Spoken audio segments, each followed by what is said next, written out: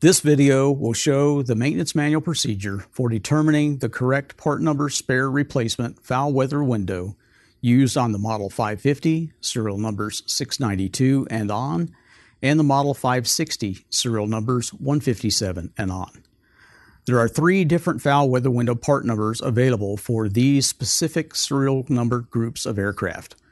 Each part number identifies the amount of contour or curvature of the window. The different contours are needed to provide spare windows for the over 35 years of minor production changes. It is important to order a replacement window having a similar contour to the window being removed. In order to select the correct part number replacement window, the contour of the existing window must first be determined. Measuring the window contour will require fabrication of a template. Refer to the Maintenance Manual, Chapter 56, Foul Weather Window Maintenance Practices for instructions and dimensions needed to fabricate the required template and to perform the contour measurement. The contour measurement can be performed with the foul weather window installed or removed. When performing the contour measurement with the window installed, the window will need to be in the open position.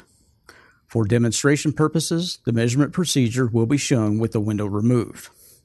Note, exercise caution when working with acrylic windows to prevent damage. Place the template against the outside surface of the window along the center line as shown in the maintenance manual procedure. Take and record the measurement at the midpoint of the template where the gap is the greatest. In this example, digital calipers will be used to take the measurement. The width of the template at the midpoint has been recorded and will be subtracted from the overall measurement to obtain the actual gap measurement. Compare the gap measurement with the values listed in the maintenance manual to determine the correct part number replacement window needed. If a spare foul weather window has been installed previously, it is possible the installed window may have a contour that does not provide the best fit.